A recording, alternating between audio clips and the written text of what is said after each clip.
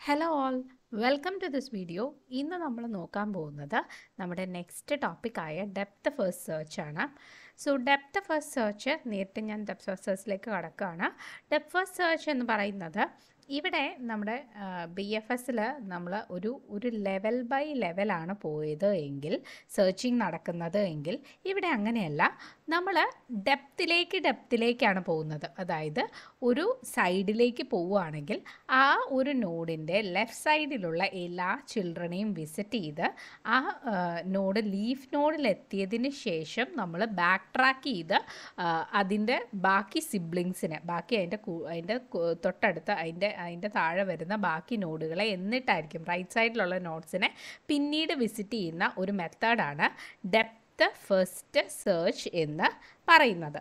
നമുക്ക് ഈ ഒരു ഫിഗറിൽ നിന്ന് തന്നെ നമുക്കിത് മനസ്സിലാക്കാം. ഈ ഒരു നോഡുണ്ട് എയിന്റെ രണ്ട് ചിൽഡ്രൻ ആണ് ബി ആൻഡ് സി. സോ നമ്മൾ ഫസ്റ്റ് ലെഫ്റ്റ് ചൈൽഡിലേക്കാണ് പോവുക. ബി ആണ് ലെഫ്റ്റ് ചൈൽഡ് സോ ബീനെ നമ്മൾ എക്സ്പാൻഡ് ചെയ്യുന്നു. ബിക്ക് രണ്ട് ചിൽഡ്രൻ ഡിയും ഇയും ഉണ്ടാവുന്നു. സോ ഇനി നമ്മൾ മൂവ് ചെയ്യാൻ പോകുന്നത് ലെഫ്റ്റിലേക്ക് ലെഫ്റ്റ് മോസ്റ്റ് നോഡ് നമ്മൾ എക്സ്പാൻഡ് ചെയ്തുകൊണ്ടേ ഇരിക്കും. അങ്ങനെയാണ് നമ്മൾ പോവുക. അൺടിൽ ലെഫ്റ്റ് മോസ്റ്റ് നോഡിന് ഇനി ഒരു ചിൽഡ്രൻ ഇല്ലാത്തടത്തോളം കാലം നമ്മൾ ലെഫ്റ്റ് മോസ്റ്റ് നോഡിന് മാത്രമായിരിക്കും എക്സ്പാൻഡ് ചെയ്യുന്നത് we are going deeper into the left side left സൈഡിലേക്ക് നമ്മൾ ഡീപ്പായിട്ട് പോയിക്കൊണ്ടിരിക്കുകയാണ്. സോ ഡീനെ നമ്മൾ എക്സ്പാൻഡ് ചെയ്യുന്നു. സോ ഡിക്ക് രണ്ട് ചിൽഡ്രൻ എച്ചും ഐയും ഉണ്ടാക്കി.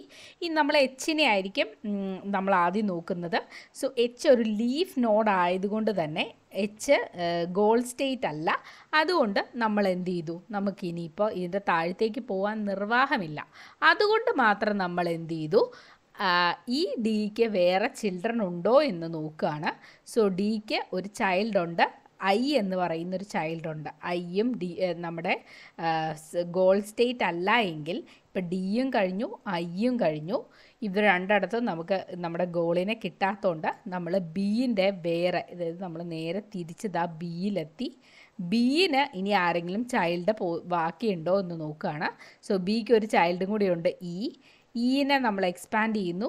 ഈക്ക് ഈയിൽ നമ്മൾ നോക്കിയപ്പോൾ ഈ ചൈൽഡിന് ഇതല്ല നമ്മുടെ എന്താ പറയുക നമ്മുടെ ഗോൾ സ്റ്റേറ്റ് അല്ല. ഈന്റെ ചിൽഡ്രൻ ജെ ആൻഡ് കെയും നമുക്ക് ഇതിനെ നമുക്കൊരു സൊല്യൂഷൻ തരുന്നില്ല. സോ നമ്മൾ ഈനെ ഈന്റെ ചിൽഡ്രൻസിനെ നമ്മൾ നോക്കിയേ പറ്റൂ. എന്നിട്ട് മാത്രമേ നമുക്ക് ഇനി അടുത്തേക്ക് പോകാൻ പറ്റൂ. സോ ഈന്റെ ചിൽഡ്രൻ ജെയിനെയും കെയിനെയും നമ്മൾ പ്രൊഡ്യൂസ് ചെയ്തു. ജെയിനെ ആദ്യം നോക്കുന്നു. ജെ സൊല്യൂഷൻ അല്ല എന്നുണ്ടെങ്കിൽ നമ്മൾ കെയിലേക്ക് പോകുന്നു. കെയും സൊല്യൂഷൻ അല്ല. സോ ബി ഇ എല്ലാം നോക്കി കഴിഞ്ഞു. ഇനിയിപ്പോൾ നമുക്ക് ആകെ ബാക്കിയുള്ളത് ബീനെ നോക്കി ഈനെ നോക്കി കഴിഞ്ഞ് കഴിയുമ്പോൾ ഇനി എയുടെ റൈറ്റ് സൈഡിലേക്കാണ് നമ്മൾ ഇനി അടുത്തത് പോകുന്നത്. സോ റൈറ്റ് സൈഡിൽ സി ഉണ്ട്. ഇനി നമ്മൾ വീണ്ടും ഇതുപോലെ തന്നെ ലെഫ്റ്റ് സൈഡിലേക്ക് പോയി പോയി പോയി ലെഫ്റ്റ് സൈഡ് കാലി ആയാൽ മാത്രമേ നമ്മൾ റൈറ്റ് സൈഡിലേക്ക് പോകുള്ളൂ സീന്റെ രണ്ട് ചിൽഡ്രൻ എഫിനെയും ജീനെയും ജനറേറ്റ് ചെയ്ത് വെക്കുന്നു. പക്ഷേ നമ്മൾ എഫിനെയാണ് ആദ്യം എക്സ്പാൻഡ് ചെയ്യുന്നത്. ബി എഫ് എസിൽ നമ്മൾ ഒരു സിബ്ലിങ്സിനെ എല്ലാവരെയും നോക്കിയിട്ടാണ് ചിൽഡ്രനെ നോക്കുന്നതെങ്കിൽ ഇവിടെ അങ്ങനെയല്ല. നമ്മൾ ലെഫ്റ്റ് സൈഡിലുള്ള ആളെയാണ് നമ്മൾ എക്സ്പാൻഡ് ചെയ്യുന്നത്.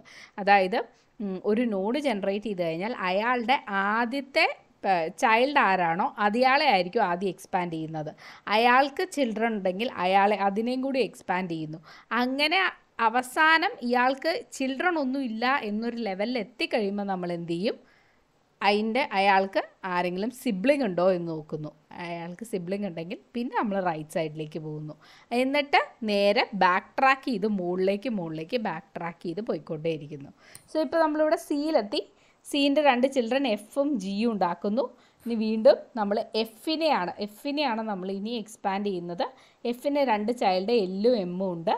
എല്ലിനെ എക്സ്പാൻഡ് ചെയ്ത് നോക്കി എമ്മിനെ എക്സ്പാൻഡ് ചെയ്ത് നോക്കി എല്ലും എമ്മും ലീഫ് നോഡാണ് സോ എല്ല് നമ്മുടെ ഗോളല്ല എമ്മും നമ്മുടെ ഗോളല്ല സോ അടുത്തത് ഇനി ആരെ ആയിരിക്കും നോക്കുന്നത്? ഇവരെയൊക്കെ നോക്കിക്കഴിഞ്ഞു നമ്മൾ നേരെ ഇവിടെ വന്നിട്ട് ജീനെ നോക്കും. ജീന്റെ ചൈൽഡ് എൻ ആണോ എന്ന് നോക്കും. എന്നിന്റെ ചൈൽഡ് ഒയിനെ നോക്കും. സേ ഇപ്പോൾ നമുക്ക് നമ്മുടെ ഗോൾ സ്റ്റേറ്റ് എന്ന് പറയുന്നത് ജി ആയിരുന്നു എങ്കിൽ നമ്മൾ എത്ര ദൂരം സഞ്ചരിക്കേണ്ടി വന്നു? ഇത്രയും നോട്ട്സ് തപ്പിയിട്ടാണ് ഞാൻ ജി എന്ന് പറയുന്ന ഗോൾ സ്റ്റേറ്റിൽ എത്തിയത്. So this is how first search work ചെയ്യുന്നത്. ഓക്കെ ഫസ്റ്റ് സെർച്ചിൽ നമ്മൾ ഒരു last in first out queue ആണ് യൂസ് ചെയ്യുന്നത്. Okay last in first out അവസാനം വന്നയാളാണ് ആദ്യം പുറത്ത് പോകുന്നത്. വേറെ നമ്മുടെ ബി എഫ് എസിൽ നമ്മൾ first in first out queue ആയിരുന്നു യൂസ് ചെയ്തത്. First in first out FIFO ആണ് നമ്മൾ ബി എഫ് എസിൽ ഇംപ്ലിമെന്റ് ചെയ്തതെങ്കിൽ ഡി എഫ് എസിൽ ഡെപ്ത് ഫസ്റ്റ് സെർച്ചിൽ നമ്മൾ ഇംപ്ലിമെന്റ് ചെയ്യാൻ പോകുന്നത് ഒരു ലിഫോ ആണ്. ലാസ്റ്റ് ഇൻ ഫസ്റ്റ് ഔട്ട് എന്ന് പറയുന്ന ഒരു ക്യൂ ആണ് നമ്മൾ ഇംപ്ലിമെന്റ് ചെയ്യുന്നത്. മോസ്റ്റ് റീസെന്റ്ലി ജനറേറ്റ് ചെയ്ത നോഡിനെ ആയിരിക്കും നമ്മൾ എക്സ്പാൻഡ് ചെയ്യാനായിട്ട് ചൂസ് ചെയ്യുന്നത്. ഏറ്റവും റീസെന്റ് ആയിട്ട് നമ്മൾ ജനറേറ്റ് ചെയ്ത നോട്ട്സിനെ എക്സ്പാൻഡ് ചെയ്യുന്നു. ഇതിനെയാണ് നമ്മൾ ഡെപ്ത് ഫസ്റ്റ് സെർച്ച് എന്ന് പറയുന്നത്. ഓക്കെ ഡീപ്പസ്റ്റ് അൺഎക്സ്പാൻഡഡ് നോഡിനെ ആയിരിക്കും നമ്മൾ നമ്മൾ ഒരു പേരന്റ് എടുക്കുകയാണെങ്കിൽ അതിന്റെ ഡീപ്പസ്റ്റ് ആയിട്ടുള്ള അൺഎക്സ്പാൻഡഡ് ആയിട്ടുള്ള ഒരു നോഡിനെ ആയിരിക്കും നമ്മൾ ആദ്യം തന്നെ ഇതിനെ എക്സ്പാൻഡ് ചെയ്യാനായിട്ട് എടുക്കുന്നത്. സോ ദിസ് ഇസ് ഹൗ ഒരു ഡെപ്ത് ഫസ്റ്റ് സെർച്ച് വർക്ക് ചെയ്യുന്നത്. ഇങ്ങനൊരു ട്രീ ഉണ്ട് എങ്കിൽ എസിൽ നിന്ന് എയിലേക്ക് പോകുന്നു. എയിൽ നിന്ന് ബിയിലേക്ക് പോകുന്നു. ബിയിൽ നിന്ന് സി സി എത്തിക്കഴിഞ്ഞപ്പോൾ സി ഒരു ലീഫ് നോഡാണ് അപ്പോൾ അതുകൊണ്ട് നമുക്ക് സിയിൽ നിന്ന് നമുക്ക് ഇനിയിപ്പോൾ പോകാനൊരു വഴി എന്ന് പറയുന്നത് ബാക്ക് ട്രാക്ക് ചെയ്യലാണ്. സിയിൽ നിന്ന് ബി പോകുന്നു. ബീന് വേറെ ഏതെങ്കിലും ചൈൽഡ് ഉണ്ടോ എന്ന് നോക്കുന്നു. സോ ഒരു ചൈൽഡ് ഉണ്ട് ഇ ഇയിൽ നിന്ന് ഡി പോകുന്നു. ഡിയിൽ നിന്ന് ഡി ലീഫ് നോഡ് ആയതുകൊണ്ട് നമ്മൾ തിരിച്ച് ഇയിലേക്ക് തിരിച്ചെത്തുന്നു. ദെൻ നമ്മൾ എഫിലേക്ക് എത്തുന്നു. എഫിൽ നിന്ന് വി ഗോ ടു ജി ഇപ്പോൾ നമുക്ക് ഇതുവരെ സൊല്യൂഷൻ കിട്ടിയില്ല എന്നാണെങ്കിൽ നമ്മൾ ഓൾ ദ വേ ബാക്ക് നമ്മൾ വീണ്ടും ബാക്ക് ട്രാക്ക് ചെയ്യണം. ബാക്ക് ട്രാക്ക് ചെയ്ത് നമ്മൾ എവിടം വരെ പോകണം ഇങ്ങനെ ഇവിടേക്ക് പോയി ഇങ്ങനെ പോകണമായിരുന്നു ഇപ്പോൾ സേ ജി ആണ് എന്റെ ഗോൾ സ്റ്റേറ്റ് എങ്കിൽ എനിക്ക് ഇവിടെ വച്ച് നിർത്താമായിരുന്നു. ഇതാണ് ഇതിന്റെ ഗുണം എന്താണെന്ന് ചോദിച്ചു കഴിഞ്ഞാൽ ഇപ്പോൾ നമ്മൾ ഇവിടെ ഇത് ഇതിപ്പോൾ നമ്മൾ ഡി എഫ് എസിന് പകരം ബി എഫ് എസ് ആയിരുന്നു ചെയ്തത് എങ്കിൽ നമ്മൾ എങ്ങനെ ചെയ്തേനെ? ആദ്യം എസ് എസിൽ നിന്ന് എ അത് കഴിഞ്ഞ് ഡി അത് കഴിഞ്ഞ് ബി ഡി എ ഇ നോക്കണം. C E E B B F നോക്കണം. D F B F F F C E A C G നോക്കണം. എന്നിട്ടാണ് ജി എന്ന് പറയുന്ന നോഡ് വരുവുള്ളൂ. അതായത് നമ്മൾ എത്ര ലെവൽ നോക്കി എത്ര നോട്ട്സ് നോക്കി? ഒന്ന് രണ്ട് മൂന്ന് നാല് അഞ്ച് ആറ് ഏഴ് എട്ട് ഒമ്പത് പത്ത് പതിനൊന്ന് പന്ത്രണ്ട് പതിമൂന്ന് പതിനാല് പതിനഞ്ച് പതിനാറ് പതിനേഴ് പതിനെട്ട് പത്തൊമ്പത് ഇരുപത്. ഇരുപത് നോഡ് നോക്കണമായിരുന്നു. വേറെ ഇവിടെ എത്ര നോഡ് നോക്കി? One two three four five six seven eight eight nodes നോക്കിയപ്പോൾ തന്നെ എനിക്ക് ഡി എഫ് എസിൽ ഔട്ട്പുട്ട് കിട്ടി. ഡെപ്ത് നമ്മൾ ഡെപ്തിലേക്ക് പോകുമ്പോൾ ചിലപ്പോൾ ഫേസ്റ്റ് ഇതിൽ തന്നെ നമുക്ക് ചിലപ്പോൾ ഔട്ട്പുട്ട് കിട്ടാനുള്ള ചാൻസസ് ഉണ്ട്. അതാണ് ഇതിന്റെ ഗുണം. സോ ഇനി ഇതിന്റെ പെർഫോമൻസ് പറയുകയാണെങ്കിൽ ഡി എഫ് എസിന്റെ കംപ്ലീറ്റ്നെസ് എടുക്കുവാണെങ്കിൽ ഡി എഫ് എസ് ഒരു കംപ്ലീറ്റ് അൽഗോരിതം ആണോ എന്ന് ചോദിച്ചു കഴിഞ്ഞാൽ കംപ്ലീറ്റ് സെർച്ച് ട്രീനെ നമ്മൾ ഒരിക്കലും ഇതിന്റെ അത് വെച്ചിട്ട് നമ്മൾ ട്രാക്ക് ചെയ്യുന്നില്ല. ചിലപ്പോൾ ഒരു ഫൈനൈറ്റ് സ്റ്റെപ്സ് ഒക്കെ ആണ് എങ്കിൽ നമ്മൾ എല്ലാ നോഡിനെയും എക്സ്പാൻഡ് ചെയ്യേണ്ട ഒരു ആവശ്യം വന്നാൽ അതായത് സേ ഇപ്പോൾ എന്റെ ഗോൾ കിടക്കുന്നത് ഇവിടെയാണെന്നിരിക്കട്ടെ. ഇതായിരുന്നു എന്റെ ഗോൾ എങ്കിൽ ഞാൻ എല്ലാ നോഡിനെയും ഞാൻ ഇതിന്റെ അകത്ത് സെർച്ച് ചെയ്യേണ്ടതായിട്ട് വന്നേനെ. ഇവിടെ നിന്ന് ഇങ്ങനെ പോയി ഇവിടെ എത്തി ഇവിടെ നിന്ന് മുകളിലേക്ക് പോയി ഇവിടെ നിന്ന് ഇവിടെ ഇവിടെ നിന്ന് ഇവിടെ നിന്ന് ഇവിടെ നിന്ന് ഇങ്ങനെ ഇങ്ങനെ. ഞാൻ എല്ലാ നോഡും കംപ്ലീറ്റ് നോട്ട്സ് ഞാൻ ട്രാക്ക് ചെയ്യേണ്ടതായിട്ട് വന്നേനെ. പക്ഷേ ഉറപ്പ് ഉറപ്പിച്ച് നമുക്ക് നമുക്ക് നേരത്തെ അതിന് മുമ്പേ ജി കിട്ടിയതുകൊണ്ട് ഞാൻ എന്ത് ചെയ്തു? ആ എല്ലാ നോട്ട്സും ഞാൻ എക്സ്പാൻഡ് ചെയ്തില്ല. സോ അതുകൊണ്ട് ഇതിന്റെ അകത്ത് നമുക്ക് ഉറപ്പിച്ച് പറയാൻ പറ്റില്ല. ഇത് കംപ്ലീറ്റ് ആണ് എന്ന് പറയാൻ പറ്റില്ല. ഇൻഫിനിറ്റ് സ്റ്റേറ്റ് സ്പേസ് ഉണ്ട് എങ്കിൽ ഇതിന്റെ അകത്ത് നമുക്ക് ഒരു ഗോൾ പാത്ത് എന്ന് പറയുന്നത് ഫുൾ പാത്ത് കവർ ചെയ്യുന്നുണ്ടോ എന്ന് നമുക്ക് പറയാൻ പറ്റത്തില്ല. സോ ഇതിന്റെ അകത്ത് ഒരു ഗ്രാഫ് സെർച്ച് വേർഷനാണ് നമ്മൾ യൂസ് ചെയ്യുന്നതെങ്കിൽ റിപ്പീറ്റഡ് സ്റ്റേറ്റ്സും റിഡൻഡന്റ് പാത്സും നമുക്ക് അവോയ്ഡ് ചെയ്യാം. ഇന്നെ complete finite state space because it will eventually expand every node ഇപ്പോൾ ഒരു ഗ്രാഫ് സ്പേസ് വേർഷനാണ് യൂസ് ചെയ്യുന്നതെങ്കിൽ it's like B F S പോലെ തന്നെ ആയിപ്പോവും. ഇതിന്റെ ട്രീ വേർഷൻ എന്ന് പറയുന്നത് കംപ്ലീറ്റ് ആയിട്ടുള്ള ഒന്ന് അല്ല. അതായത് ഇതിപ്പോൾ ഇത് ഇതൊരു ട്രീ വേർഷനാണ് ഇതിന്റെ അത് എല്ലാ നോഡും കവർ ചെയ്യുന്നില്ല. നമ്മൾ എല്ലാ നോഡിനെയും നമ്മൾ വിസിറ്റ് നമ്മൾ വിസിറ്റ് ചെയ്യാതെയാണ് ഇവിടെ നമുക്ക് ഗോൾ സ്റ്റേറ്റ് എത്തുന്നത്. വെറസ് ഗ്രാഫ് വേർഷൻ ആണ് എങ്കിൽ അങ്ങോട്ടും ഇങ്ങോട്ടും ഒക്കെ കണക്റ്റഡ് ആണ്. ക്ലോസ്ഡ് ലൂപ്പുകൾ ഉണ്ടാവാം. അപ്പോൾ അതിന്റെ അകത്ത് നമുക്ക് ഈ പറഞ്ഞ കണക്ക് നമ്മൾ പോകുന്ന വഴി വഴിയിൽ റിപ്പീറ്റഡ് സ്റ്റേറ്റ്സും റിഡൻഡന്റ് പാർട്സും ഒക്കെ അവോയ്ഡ് ചെയ്യാൻ നേരത്ത് നമുക്കൊരു കംപ്ലീറ്റ് സൊല്യൂഷൻ കിട്ടാൻ കംപ്ലീറ്റ് ആയിട്ട് ഇവൻച്വലി ഒരുവിധം എല്ലാ നോട്ട്സും നമ്മൾ സെർച്ച് ചെയ്ത് പോവാറുണ്ട്. ഓക്കെ പിന്നെ ഇതൊരു ഒപ്റ്റിമൽ സൊല്യൂഷൻ അല്ല. അതായത് ചിലപ്പോൾ ഇതിലും നമ്മൾ ചിലപ്പോൾ ഇപ്പോൾ ഈ വഴി വന്നു ഇവിടെ എത്തി. ഗോളിലേക്ക് എത്താൻ ഇതിനേക്കാൾ നല്ല സിമ്പിളായിട്ടുള്ളത് ഇവിടെ ഇത് നയന്റീൻ ആണ് ഇതിന്റെ കോസ്റ്റ് വേറെ സെവന്റീൻ കോസ്റ്റ് ഉള്ളൊരു പാത്ത് ഇതാ ഇവിടെ കിടപ്പുണ്ട്.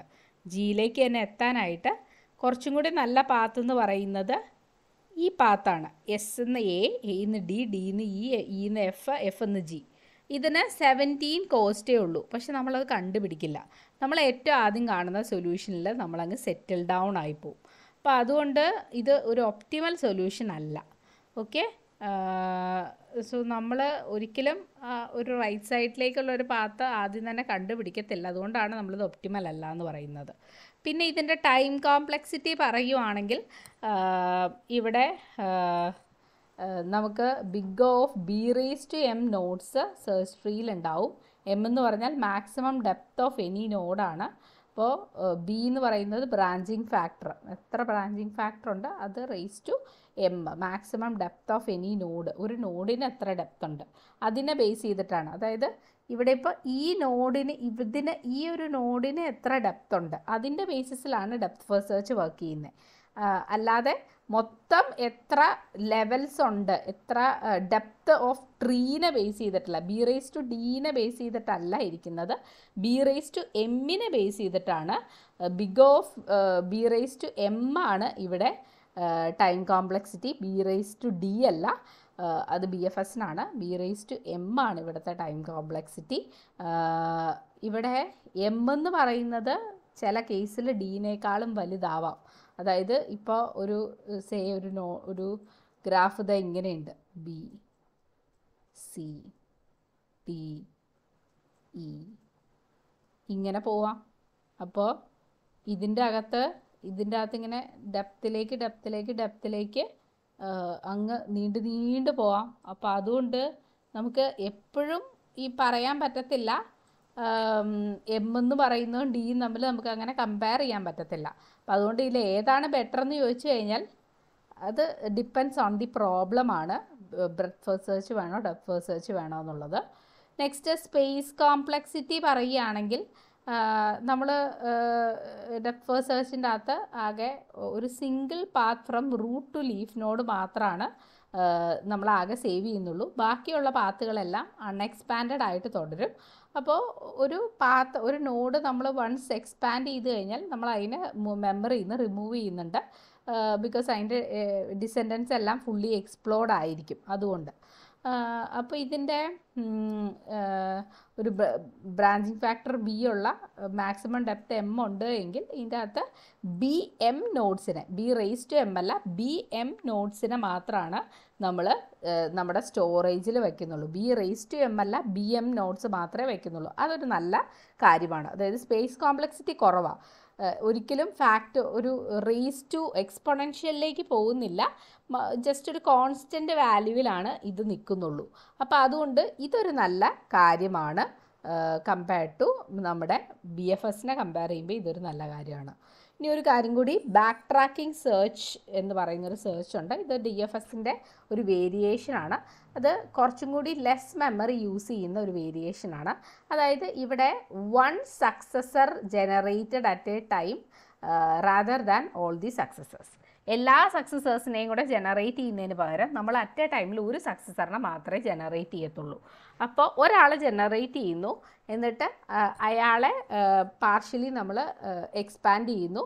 അപ്പോൾ അയാളെ മാത്രം നമ്മൾ റിമെമ്പർ ചെയ്താൽ മതി. അയാളുടെ ബാക്കി ചിൽഡ്രനെ എല്ലാം നമ്മളിപ്പോൾ ജനറേറ്റ് ചെയ്യത്തില്ല. അപ്പോൾ അതുകൊണ്ട് നമുക്ക് അത്രയും കൂടി കുറച്ച് സ്പേസ് മതി. അപ്പോൾ നമുക്ക് സ്പേസ് ഒന്നും കൂടി ആ ബ്രാഞ്ചിലുള്ള എല്ലാവരെയും സേവ് ചെയ്യേണ്ടാത്തതുകൊണ്ട് നമുക്ക് മെമ്മറി ഒന്നും കൂടി കുറയ്ക്കാം. ബിഗ് ഓഫ് എം മെമ്മറി മതിയായിരിക്കും ഇതിന്. അതാണ് ബാക്ക് ട്രാക്കിംഗ് സെർച്ചിന്റെ ഗുണം. എല്ലാ നോട്ട്സിനെയും ഉണ്ടാക്കുന്നത്. അതായത് നമ്മളിത് ഇവിടെ നോക്കിക്കേ. ഇവിടെ ഇപ്പോൾ എസിന്റെ ഈ ചൈൽഡിനെ ഉണ്ടാക്കി ഈ ചൈൽഡിനെ എയിനെയും ഡീനെയും നമ്മൾ ഉണ്ടാക്കി. എയിനെയും ഡീനെയും നമ്മൾ സേവ് ചെയ്യുന്നുണ്ട്. നമ്മുടെ first in last in first out ക്യൂവിലേക്ക് നമ്മൾ സേവ് ചെയ്യുന്നുണ്ട്. അപ്പോൾ ഇത് രണ്ടെണ്ണത്തിനെ സേവ് ചെയ്യേണ്ട കാര്യം ഉണ്ടായിരുന്നോ? ഇപ്പം ഡീനെ നമ്മൾ പിന്നീടല്ലേ യൂസ് ചെയ്യുന്നുള്ളൂ. അപ്പോൾ അതുകൊണ്ട് ഇതിനെ ഇപ്പം ഉണ്ടാക്കാതെ എയിനെ മാത്രം ഉണ്ടാക്കി എയിനെ മാത്രം സേവ് ചെയ്യുന്നു. അപ്പോൾ നമുക്ക് ഒന്നും കൂടി മെമ്മറി ലാഭിക്കാം. അതാണ് ബാക്ക് ട്രാക്കിംഗ് സെർച്ച് എന്ന് പറയുന്നത്.